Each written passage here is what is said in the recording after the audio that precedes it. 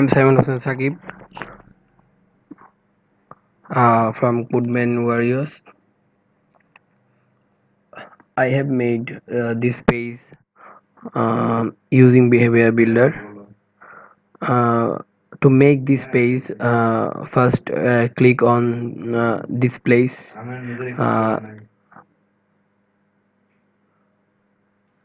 for for this section then uh, uh, then uh, this column uh, drag and uh,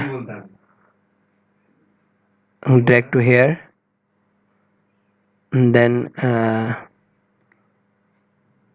and then click here to add slider. Scroll to select uh, slideshow then add uh, some photo then save. uh, then uh, this section you need to uh, here uh, heading. Uh, this heading uh, drag here. Then write destinations. Then uh, this section uh, you need to uh, uh, a column then uh, uh, go to row and uh, drag this uh, column. And then uh, you need to uh, you need to uh, another heading. So heading um, then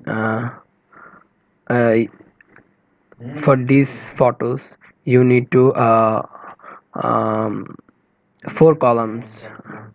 Uh, click and drag here. Then you need to uh, add photo. Uh, so uh, photo section. Uh, in this section drag here. And then select a photo then you need to uh, and then this section you need to uh, drag here text editor. Text editor you, then uh, here you uh, you can ch change uh, uh, color or font size etc then you need to um, then this section uh, um, here uh, add um, another column then uh, change the color.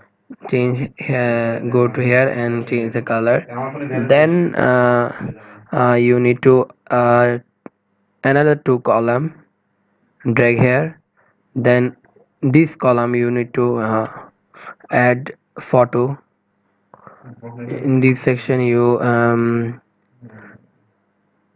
add a photo um, then uh, this uh, section you need to first um, uh, drag a heading then a text editor uh, then this for this section uh, you need to uh, drag here button this button and this button. Then uh, in this section in this section you need to uh, first uh, drag here a column mm, then uh, a text editor for this. Then uh, you need to uh, you need to uh, go to um, uh, power pack modules then 3d slider uh, click and drag here. Then uh, you add some photo add photos here. Then save for for this section. Thank you so much. Uh,